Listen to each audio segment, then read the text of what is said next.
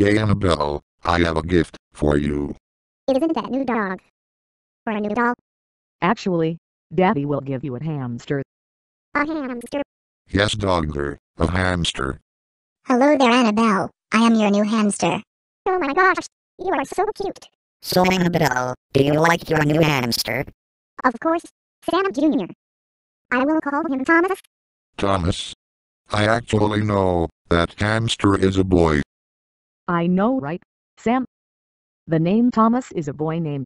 Thank you so much, Daddy, by buying the new hamster for me. You are welcome, Annabell.